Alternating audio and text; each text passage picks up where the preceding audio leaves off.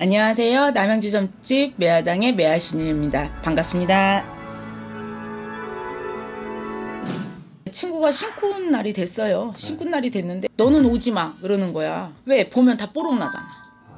아 예. 뽀록 나잖아. 핸드폰에도 이렇게 모바일에도 뜨더라고. 광고를 이렇게 올려놨더라고. 음. 자기가 무슨 테마에 일 뭐 이거 하면서 내 친구 눕혀주고 눕혀놓고 무슨 테마는 쫙 하면서 이렇게 신코스를 하면서 조상이들 풀렸네, 뭐가들 풀렸네, 뭐가들 풀렸네. 그너 이렇게 이, 이번엔 이굿 해야 돼. 너 이번에는 이굿 해야 돼. 너 이번에는 이굿 해야 돼. 뭐 이굿 해야 돼. 그리고 내가 요번에 뭐 하는데 돈 좀 줘봐봐. 해갖고 빨린 게 한 2억 되더라고. 1년 동안. 손님 하나만 오면 그냥 구태 구태 구태. 너 이거 안 하면 아들 죽어. 너 이거 안 하면 딸 앞길 망쳐. 뭐 하면은 신랑 집 나가 뭐 나가 뭐 나가. 악담 쏟아붓는 무당들. 조심하세요. 저 어. 같은 경우에도 이제 그래도 더 샤머니즘이 좀 알려지기 시작하면서 네 많은 선생님들께서 이제 촬영 문의를 이제 촬영 문의를 주시다 보니까 이제 제 스스로는 무언가 이제 좀 가린다라고 하지만 그래도 저도 인간이잖아요. 네. 그걸 가리기가 참 어렵지만 그래도 이 세상에 정말로 올바른 무속인들만 존재할 수 있도록 네. 항상 선생님과 함께 좋은 얘기를 한번 많이 만들어 보시죠. 아 정말 가슴이 너무 아파요 그런 거 보면 저도 너무 막 내가 제가 애동이 때 너무 선생님들한테 당한 것도 많고 저는 이제 경험해서 저희 친엄마는 친어머니는 저를 신내림을 해주시고 딱 1년 만에 돌아가셨어요.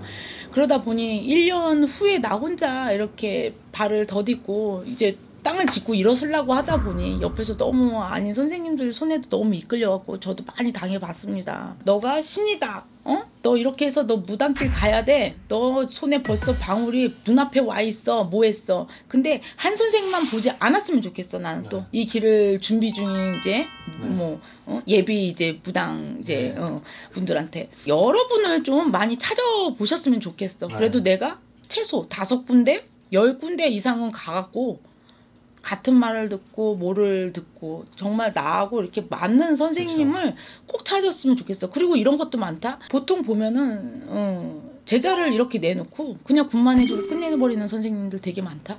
그러니까요. 어. 저도 그런 사례를 좀 음. 들은 적이 있어서 일단은 나는 제가 구태줬으니까 못 나가면 네 탓이지 내 탓이니 하면서 안 가르쳐줘. 뭐 하나 가르쳐주려면 너 돈 갖고 와. 너돈 갖고 와. 왜 그래? 신에서 연결을 연 연을 맺어줬고 인에서 연을 맺어줬잖아. 그럼 어쨌거나 내 자식이라고 신의 자식이라고 신의 연법으로 해서 이렇게 내 자식이라고 품어야 될 거 아니야 같은 제작길. 그러면은 그거를 끝까지 책임을 지고 가야 되는데 이렇게 포대기로 들러맸다가 아우 얘 왜 이렇게 저 달라고 찡찡대냐. 아우 너 가. 너무 아닌 거 아니야? 너무 무책임한 선생님들 너무 많아.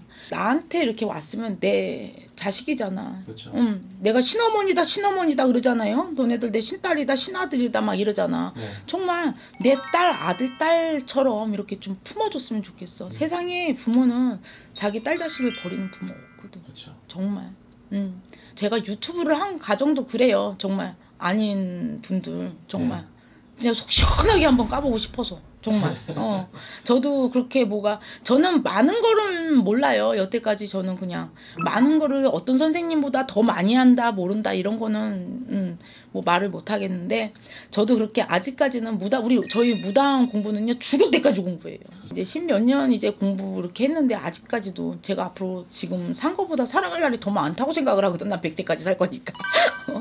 근데 어 근데 숙제할 것도 너무 많고 공부해야 될 것도 많고 막 악담 퍼대는 그런 선생님들 특히 조심하셨으면 좋겠어. 아무리 우리가 이렇게 점사를 볼 때도 이 집이 너무 안 좋아도 막 너 죽어 뭐해 너 그러니까 구태야 돼 이런 소리 안 해 정말 올바르게 가는 선생님들은 근데 뭐 이거 안 하면은 너 이번에 이렇게 이렇게 안 하면은 뭐가 어쩌고저쩌고 해서 너네 집에 뭐 박살이나 뭐가 나 거- 겁박 안 줘요 우리는 점사를 보러 왔으니까 거기에 대한 점사에 점사에만 충실한 충실한 거고 그리고 이래저래해서 이렇게가 있습니다. 근데 이런 방법은 이렇게 돌아가시면 되고 저런 방법은 이렇게 돌아가시면 됩니다. 근데 이거를 빨리 일을 해결을 하시려면 수술을 하셔야 되는 건 당연한 거야. 그래서 우리가 그때 가서나 굿 얘기를 해요. 네. 굿을. 그러니 그렇다고 해서 굿 해라 해라 고 사정도 안 해. 처방전이에요. 약을 드실 약을 지어서 드시려면은 본인이 알아서 드시는 거지. 의사가 저 사람이 암 환자야. 근데 내가 메스 들고 쫓아다니진 않잖아. 그거랑 똑같은 거야. 이치적으로 생각하면은 의사가 메스 들고 이렇게 안 쫓아다녀.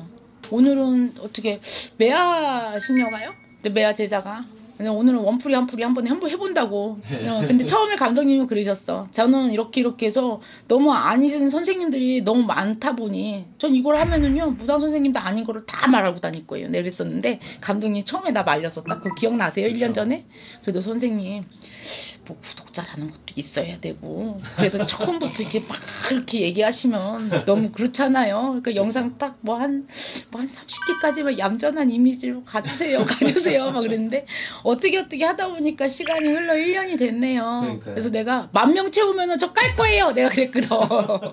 진짜 만 명이 되셨네. 만명 됐어요. 이제 이날만을 얼마나 기다렸는데요. 조심하세요. 포천의 구땡땡이.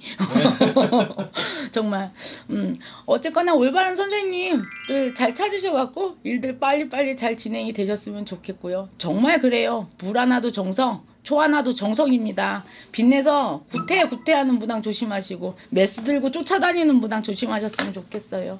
어, 오늘도 이렇게 시청해 주셔서 감사드리고요. 다음 시간에 또 찾아뵙겠습니다. 감사합니다.